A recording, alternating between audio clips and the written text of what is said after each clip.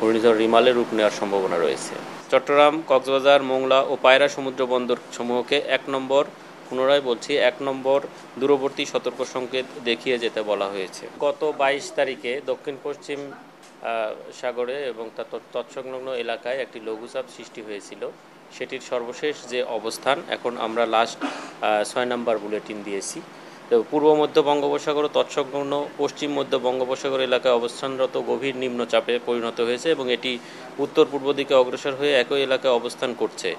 আজকে সকাল নয়টায় চট্টগ্রাম সমুদ্র বন্দর থেকে পাঁচশো পঁয়ষট্টি কিলোমিটার দক্ষিণ পশ্চিমে, কক্সবাজার সমুদ্র বন্দর থেকে চারশো পঁচানব্বই কিলোমিটার দক্ষিণ পশ্চিমে, মোংলা সমুদ্র বন্দর থেকে পাঁচশো চল্লিশ কিলোমিটার দক্ষিণে এবং পায়রা সমুদ্র বন্দর থেকে চারশো নব্বই কিলোমিটার দক্ষিণে অবস্থান করছিল। এটি আরও উত্তর পূর্ব দিকে অগ্রসর ও ঘনীভূত হতে পারে। গভীর নিম্নচাপ কেন্দ্রের আটচল্লিশ কিলোমিটারের মধ্যে বাতাসের একটানা সর্বোচ্চ গতিবেগ ঘন্টায় পঞ্চাশ কিলোমিটার, যা দমকা ও ঝোড়ো হাওয়া আকারে ষাট কিলোমিটার পর্যন্ত বৃদ্ধি পাচ্ছে। গভীর নিম্নচাপ কেন্দ্রের নিকটবর্তী এলাকায় সাগর উত্তাল রয়েছে।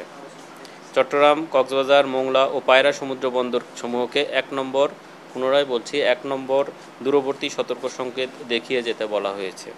এবং এটি আজকে বিকাল নাগাদ ঘূর্ণিঝড়ের রূপ নেওয়ার সম্ভাবনা রয়েছে। যদি ঘূর্ণিঝড়ের রূপ নেয়, তাহলে এটা আমরা বলছি যে রিমাল, ঘূর্ণিঝড় রিমালের রূপ নেওয়ার সম্ভাবনা রয়েছে।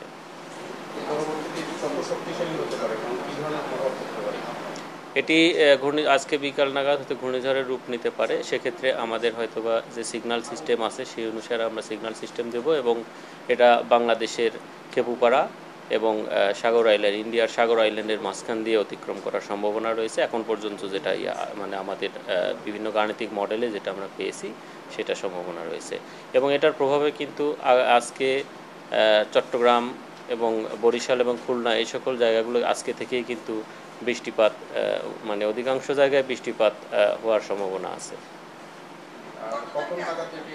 এবং এটি আগামীকালকে দুপুরের পর থেকে এই ঘূর্ণিঝড় বা এটা পরবর্তীতে যদি আরও ইন্টেন্সিফাই হওয়ার সম্ভাবনা আছে সেটা কিন্তু আগামীকালকে দুপুরের পর এর অগ্রভাগের প্রভাব পড়তে শুরু করবে উপকূলীয় এলাকায়।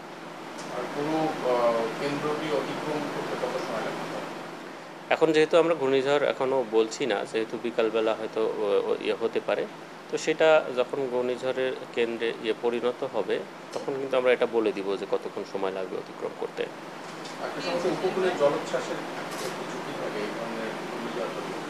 হ্যাঁ এটা জলোচ্ছ্বাস, আমরা বলছি যে যখন, এখন যেহেতু গভীর নিম্নচাপ আছে, এটা ঘূর্ণিঝড়ে পরিণত হলে আমরা সব কিছুই জানিয়ে দিব যে যে বায়ুতাড়িত যে ইয়ে জলোচ্ছ্বাস হয়, স্বাভাবিক জোয়ারের সঙ্গে কত বেশি উচ্চতার হতে পারে এটা, সেটা আমরা পরবর্তীতে, পরবর্তী বুলেটিনে আপনাদেরকে, আপনাদের মাধ্যমে জানিয়ে দিব।